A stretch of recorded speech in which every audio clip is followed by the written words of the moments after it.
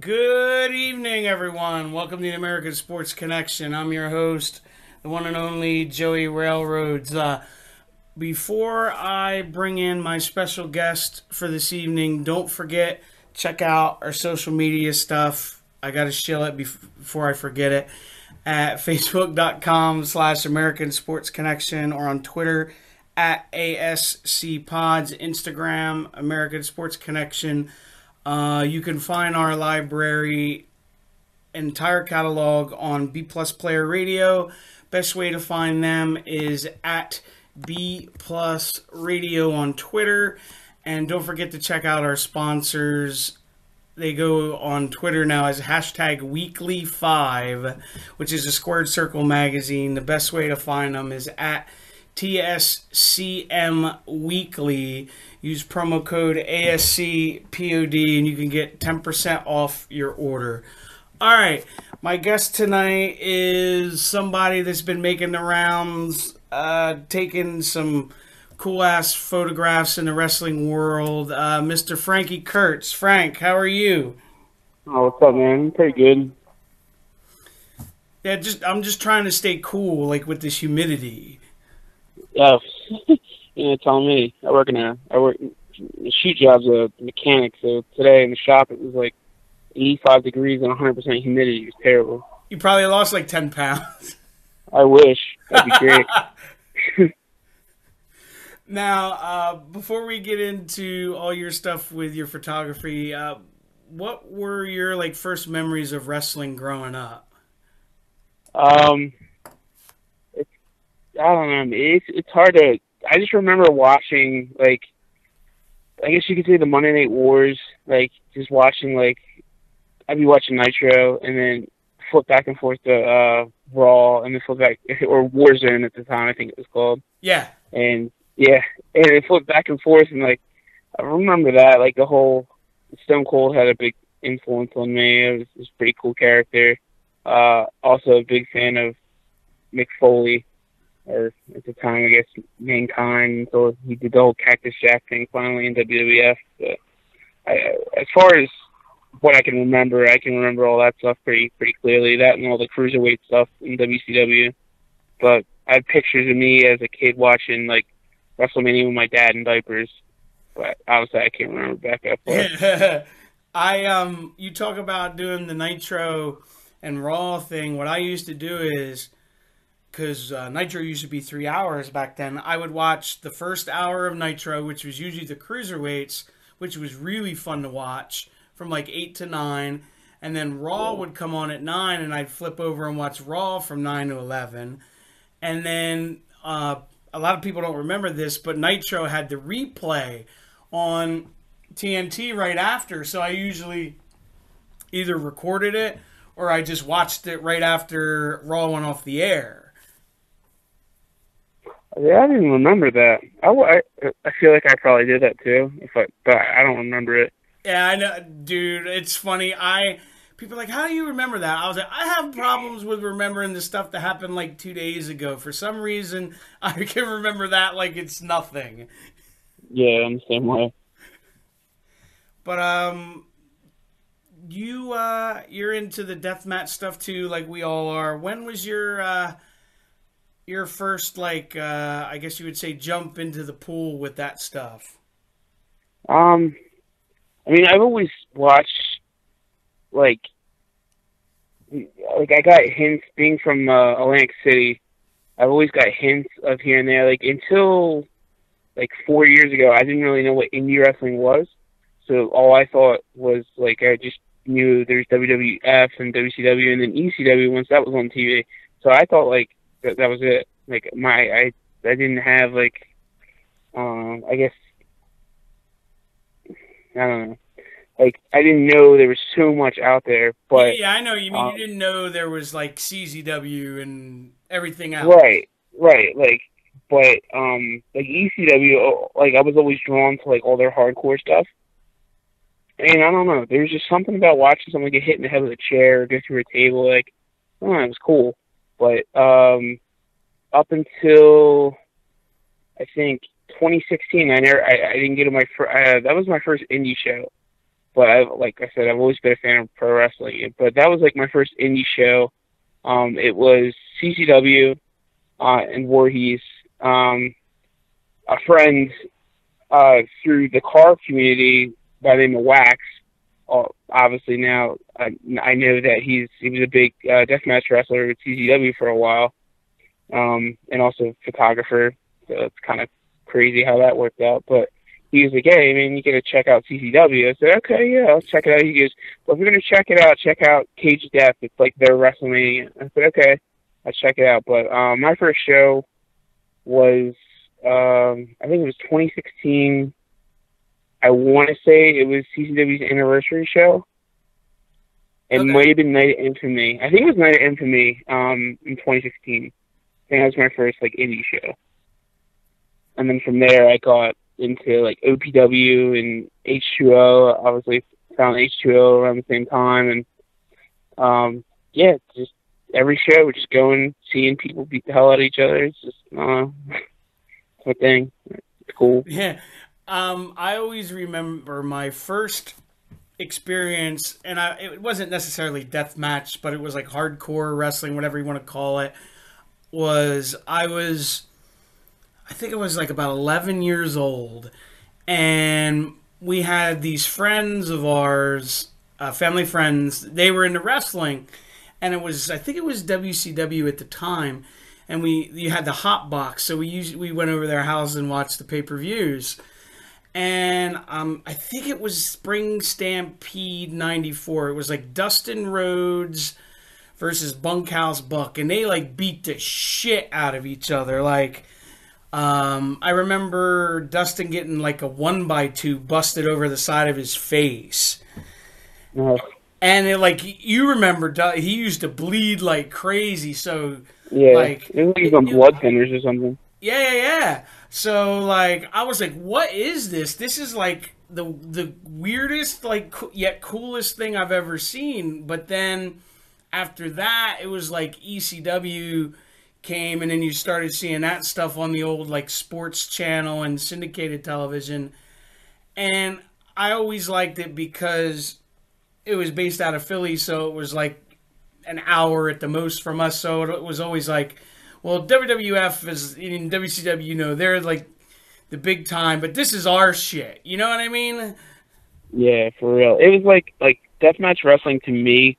Um, I relate like before one of my many ventures. I used to play music uh, in high school. I used to tour, and I was always into like metal and like hardcore punk and punk rock and all that kind of stuff. And I used to play in a band. So the way I relate, um, like deathmatch wrestling, it's just another genre, and I relate a lot to it because it's a lot of like no rules and like we're not going to say we're not going to do what you say or tell us to do. So like I can relate to that because I grew up with that kind of lifestyle. I guess you could say Yeah, like, like, an alternative, like punky. Right? Yeah. Like I'm I'm not going to conform to what you say. I I have to act or how I have to act. So like it's really cool to be able to see that in wrestling because it's another thing that I've always loved. So it's, really cool. I always uh, equated it to because um, I think his name's Chris Levin. He's a referee. I think he's on Impact now. He, he works the Yeah. he works for GCW.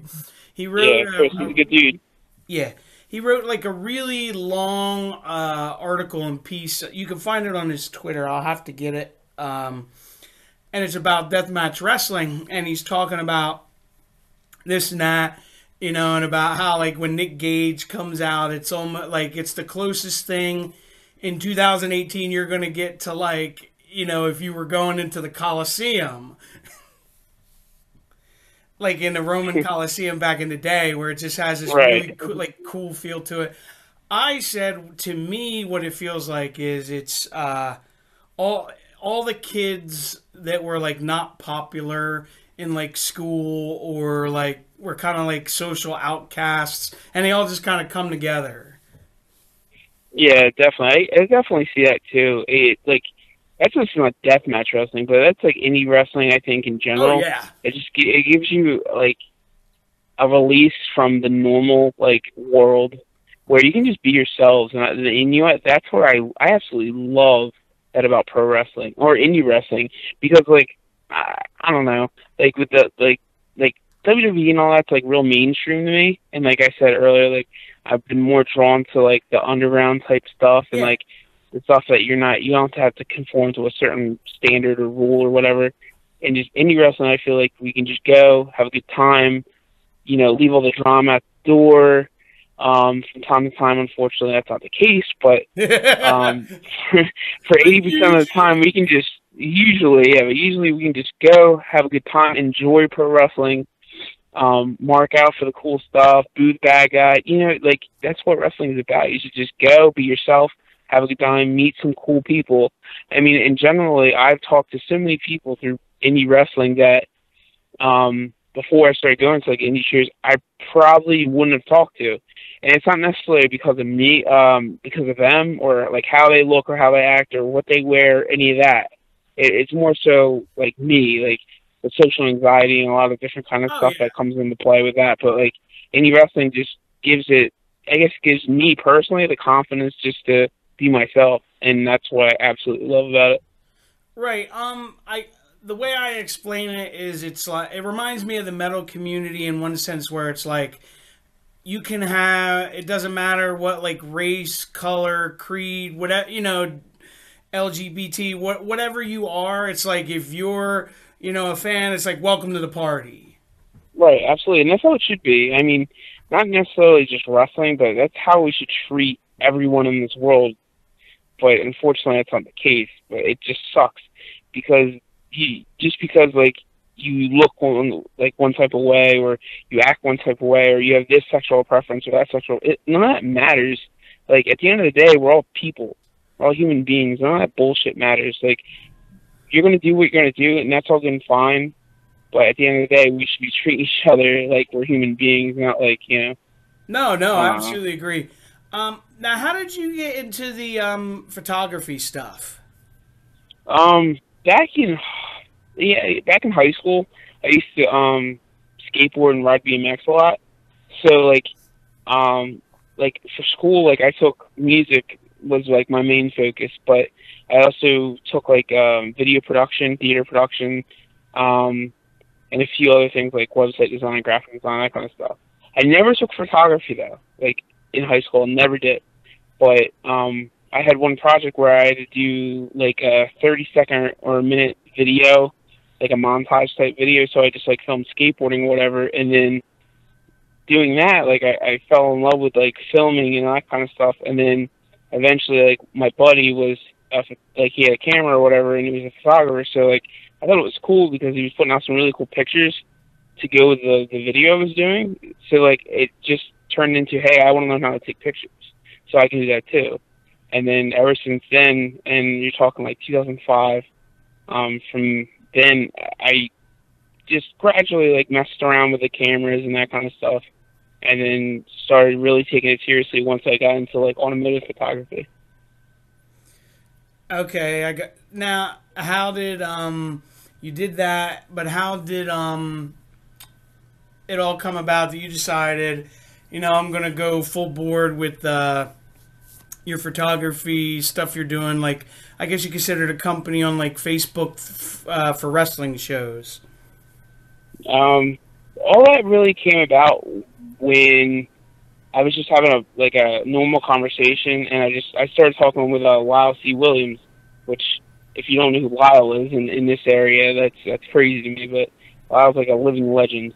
Um, He's I a man. I love him- Lyle. Yeah, dude, Lyle is man. He's he's great. I, I treat Lyle as like a mentor. He's taught me. He's been so good to me.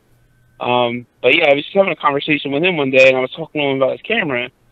And then he asked me, he's like, "Hey, well, do, you shoot pictures?" And I said, "Yeah, I have a camera at home." And blah blah blah. And then the long and short of it is, "Well, are you any good?" And I said, "Uh, "I I I don't know. Like at the time, I I don't know what's good, what's not, um, because I'm used to shooting cars, and like I I shot like skateboarding, BMX, and that kind of stuff. But back then, I, I knew I wasn't any good. Really, I was just learning, like really just learning. Um, and then I had a conversation with him at a CCW show, just, just hanging out as a fan or whatever. And then a week later, we were at H2O, and uh, he's like, "Hey, uh, do you have your camera?" And I said, "Yeah, I got my camera. It's you know, it's whatever." He goes, "Well, go get it." I need a second guy to shoot. and then next thing you know, I shot my first show in, in under a week. Like it was, it was crazy. They just threw But, you in uh, the, threw you in the deep end. Yeah, yeah, doing defense. You know, um, I put my pictures out there. The, you know, the people that saw it liked what they saw, and um, ever that, you know, been doing it ever since. And I started that, and that was in October, last October that happened. So from last October until now, um, I see myself grow a lot. Um, I got my name out there, uh, and now I'm working um, with all those companies. Have good relationships with everyone I've ever shot with so far. Um, always looking to make new relationships and get my name out there more. But now I'm working for CZW, which is a company, and at the time, I, I, I didn't think I would ever be working for, um, or shooting with, or even having the opportunity to shoot with. And now it's a regular thing, which is pretty cool. Yeah, like a holy shit kind of deal. Yeah, yeah, absolutely. Like sometimes when like any anytime I'm like shooting like a new promotion, like um I, because I'm still under a year as far as working in the wrestling business, so I'm I'm pretty green. Um, so I, I kind of get nervous um working with like new promotions and meeting new guys and all that kind of stuff. But that's just the whole anxiety part of it. Once I get comfortable, I'm fine. But to actually like finally get comfortable, like, that'll come with time. But dude, um, I, I always get nervous. I guess it's just like you, you know, it's you being human. You know what I mean? Yeah, yeah, absolutely. But I mean, it's it's been awesome. Um, every opportunity I ever have, I've been super thankful for, and just the feedback. I'm I'm, I'm not you know the best photographer in the world, but I'm learning and I try to be as professional as possible. And uh, I just you know I learn from my mistakes and I make sure I don't make them again, and I just keep moving forward. But it's been pretty crazy. Um, everyone I've shot, every opportunity I've ever gotten to go do so far. It's been fun. Right. Well, and we just talked about this off air. You have a crazy June coming up. Yeah, yeah, crazy summer in, in total, but June is jam packed. It's all- I, it's it's going to be a really really fun month. Right now, now who do you got coming up uh, that you're you're working with uh, this summer? All right, so um, I'm really excited to um, every Wednesday I'm shooting CCW Dojo Wars, which is fun. It's always fun.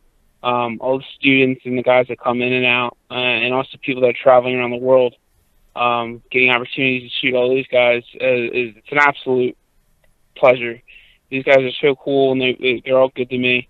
Um, I went as a fan to shoot Standalone Wrestling's first show um, and now have the opportunity to work with them a few times over over the summer. Uh, this Saturday being one of the shows that they're doing a benefit for for the Pinelands High School um, down in Little Egg Harbor Township, which I'm really excited to go and help them out with that. That's a really cool Um, deal because uh, James Storm's going to be there. Yeah, that'll be cool to, to, to photograph James for sure. Um, I did actually have the opportunity to shoot him um, before, but unfortunately couldn't take the date uh, a few months back. But now, really excited to be able to shoot him. Yeah, and, Um, and I'm trying to think what else. And then you got uh, TOD coming up on the ninth. Yeah, the 9th, and H2O the night before, the 8th.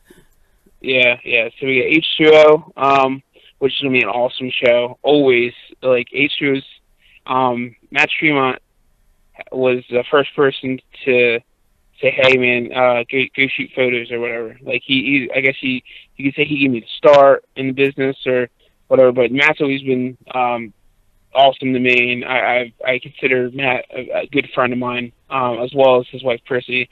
These two have been so good to me and always uh, or encouraging and um, let me just be myself and uh, I guess you know try to perfect my art and all that. Um, and then I have CZ, yeah, T, yeah, they're cool people. I was just going to say, I couldn't agree more. Then they don't have to be. You know what I mean? Like, they just, they're genuinely, like, good people. Oh yeah, absolutely. Yeah, they're generally like Matt.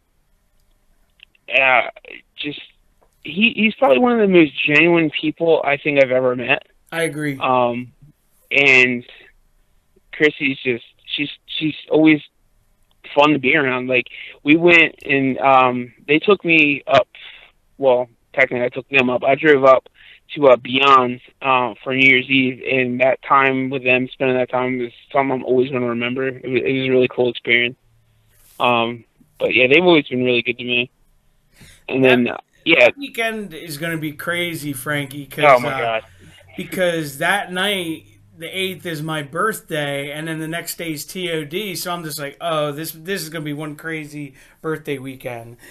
oh hell yeah, TOD is um like earlier we touched on like I never thought I would um shoot for CZW. Well, I absolutely never thought I would be shooting a TOD show. Um, this is actually my first TOD live as well. So my first TOD experience is also an experience I'm going to be working the show. Uh, it's blowing my mind. Yeah, I'm really excited for it. That card is amazing. Every guy on there is amazing. Um, And they're hungry. and oh, every single person on there, it, it, they're going to kill it. Every single person on there is going to kill it, and they're going to blow everyone's expectations away, in my personal opinion. Um, they're all great workers. They're all great guys, and they they want it. Every single one of them want it. So it's going to be awesome to see what goes down. It, it'll be fun because I've never uh, been to one. I, I it didn't work out last year that I couldn't go, but this year it's going to be it'll be fun because it's in Jersey this year. I'm so glad I don't have to drive to Delaware. Yeah. Yeah, that's what I've been hearing. I've been hearing a lot of people say positive things that it is in Jersey. Um, I'm really excited because it's only like 15 minutes from my house. It's literally like right in the backyard. It's like five minutes from uh, the Bulldozer Collectible Store in Berlin Mart, and it, it's the setting's going to be pretty cool because it's going to be like the old uh, the CCW um, at uh, the Flyers Skate Zone. yes, So just picture that that whole like area and like the field, but it's outdoors. So it'll be pretty cool, I think. it, it sounds like it's going to be really awesome. I can't wait. Yeah, it's gonna be a good time. I think all the fans that come out are, are really gonna actually thoroughly enjoy themselves. They're gonna have a good day, um, and they're gonna have a lot to talk about. I think.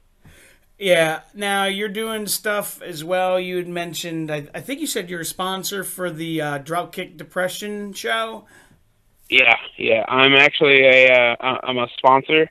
Um, I hit Tara Calloway up and said, "Hey, um, I know a lot of people with uh, like anxiety and depression. Um, a lot of them contemplated suicide, and that's what it benefits uh, suicide awareness.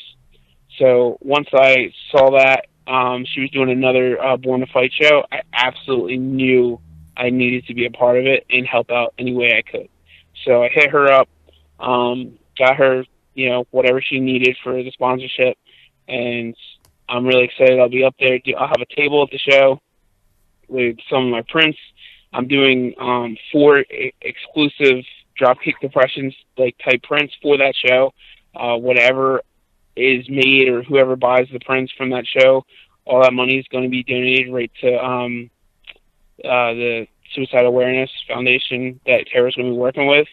And those are Um, just, they're exclusive. You're not going to be able to get them anywhere else. Right. So I am. They are going to be. Uh, I guess the the release will be at that show. Um, I will have a preview of that stuff um, at the show at Standalone, um, the Boardwalk Beatdown show. I'm also going to have a table at. Um, I'll have a preview there because that's in August, at the end of August, and then her show is a couple weeks later. So all these prints, um, you can either pre-order them online, um, and then all that money goes right towards um, Tara's, uh, like the foundation that Tara's supporting. Um, I could also work it in is if you buy a print, uh, I will sponsor seats um, for that show. So kids that generally might not have like the twenty bucks or whatever to go to the show, they'll be able to go. So that money could also be used for that too. So it's it's either or one. Um, but yeah, I want to have four prints um, for her show uh, exclusively, and I'm actually in the middle of working all that stuff out uh, over the next couple weeks. So you guys may see some stuff coming soon for that. That's that's awesome. You're going to do that, man, so that uh, you know, a kid that might not normally get to see a show, you know, will get to you know, maybe go with their dad or their brother or whatever. Right, absolutely. And if anyone wants to do that, like anyone out there listening to the podcast, if anyone wants to check that out, she has um, or Dropkick Depression on their website. Um, you can go and actually uh, sponsor a seat yourself. So if you want to go donate the money, uh, you can go actually do that as well um, directly with that site. But um, I just figured doing the prints would be an extra thing um, that's exclusive to uh, Dropkick Depression, and it can also help out um, what they're trying to do, and also give a kid an opportunity to see an awesome wrestling show. So Yeah, it, it's a win-win-win for everybody. I I agree with that. That's that's really cool that they're doing that. I um I had this conversation this weekend with all the guys uh, I rode with when we went to uh, Innovative Pro and Battle Club. I was like, you guys don't realize how lucky you are now, and they're like, why do you say that? I was like, when I was grow- growing up, there was like the NWA New Jersey that Dennis Coralluzzo used to run against ECW, and that was like the really only indie that we had in this area. And now it's just, my God, there's so many. Yeah, in New Jersey alone, um, I mean, even just South Jersey alone, uh, the whole area is so saturated with such good wrestling. Um, it, it's we're spoiled in this state. We are completely spoiled. oh, Because, like. You travel to other states, um, it- like even like I went out when I went up to see Beyond in uh, uh, it was Worcester. I want to butcher this the name of this town, but I think it was like Worcester, Chester. Or, it was like right outside of Boston. Worcester. Worcester, yes. Um, there was the the main event was a deathmatch show with or, or a deathmatch um, between Joey Janela and David Starr, and they did um, some pretty cool stuff and some crazy stuff. But the the fact I'm seeing fans pop and lose their minds over like chair and table shots. Like it was amazing. The, the atmosphere was amazing.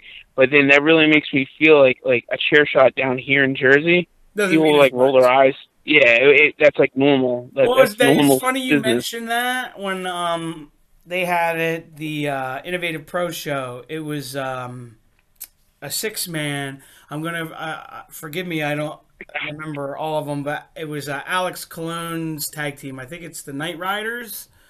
Yeah. And um, Stockade, Raver, and Jessica Havoc were on the other side, and I don't remember the other person. Forgive me, but um, these people were like losing their mind because they like they went out of the ring and started fighting around, and literally went outside in the street, and like Alex Nice. Colon dove off of the top of a car onto like Stockade, and like people were going crazy, and I'm like, I was just like. I don't know if this means I'm desensitized or if it's just I'm like, okay, whatever. Right, absolutely. Like I've seen, like I get a lot of shows too, and like I'll see certain spots, and I just feel like I'm numb to it. But I don't know if it's a good thing or a bad thing. But like I, I feel like I'm numb to certain spots. Like, but some of the stuff is like it's all good. I always enjoy it. But sometimes I'm just like, eh, you know. Yeah, yeah, well, it's um, my big thing is I I very rarely will move, and there's a buddy of mine that was there, and he goes, if you move, he says, I know to move. That's funny. Yeah, because like uh, I, I guess I'm just used to either getting hit with something or almost getting hit with something. Like Little Man was with me. It was funny. Stockade rolled out and was fighting right in front of us the first like 60 seconds of the match, and he like booked it to the other side of the ring.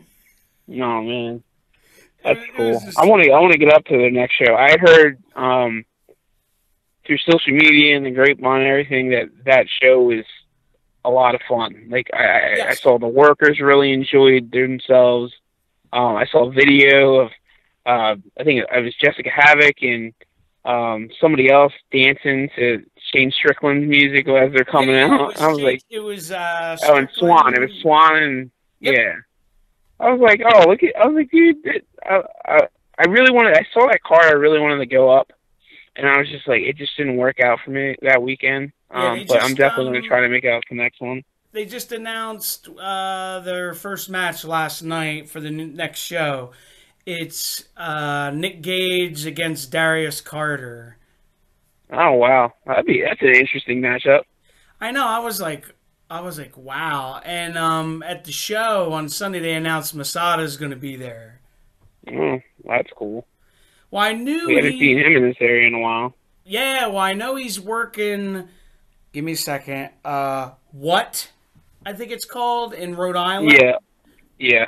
He's working that show the week after TOD. Okay. He's working uh, JT Dunn. All right, gotcha. So that that should be interesting. It'll be cool to see him because he's he's more out west now. Yeah, I know. I just saw a video of him in Mexico. So it's like, It'll be interesting It'll to be- see. yeah, it'd be Um, cool to see him back up here. No, yeah, I, I, he's a cool dude, man. I just wouldn't want to cross him. That's for sure. yeah, he's a big guy. He's very intimidating, or at least he can be. You know. Yeah. Now, if people want to uh, reach you on like social media, because I know you uh, you had had some specials on uh, Facebook periodically, you know, here or there for pho- photography stuff. Uh, how can they uh, contact you?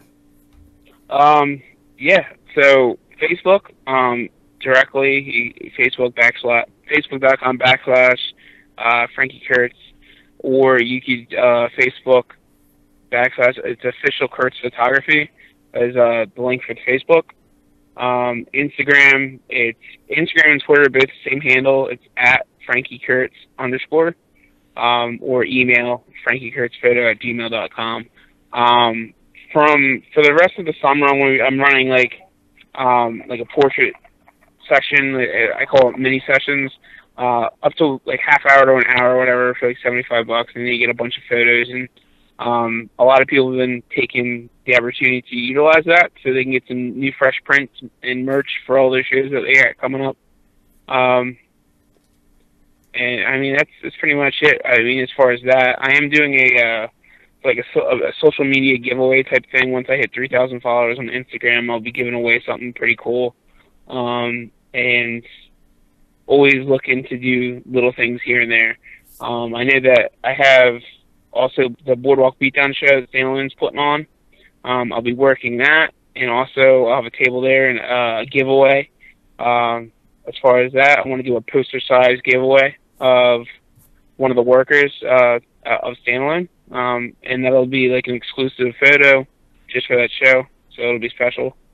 Um, but that, that's all I pretty much got going on for me.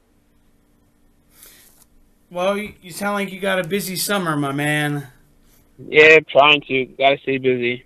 Got to work hard and, um, yeah, work hard and be humble. That's what I always try to try to live my life like. Oh yeah, well, dude, if any, if anything, you learn from from Matt, where it's just I, I always say you're on the grind. You're always grinding. Oh yeah, it, like Matt's whole thing is uh, uh, his hustle's hardcore, and that that's not just a thing, man. That's that's how you gotta live That's your a life. shoot. Like, that's that's a shoot for sure.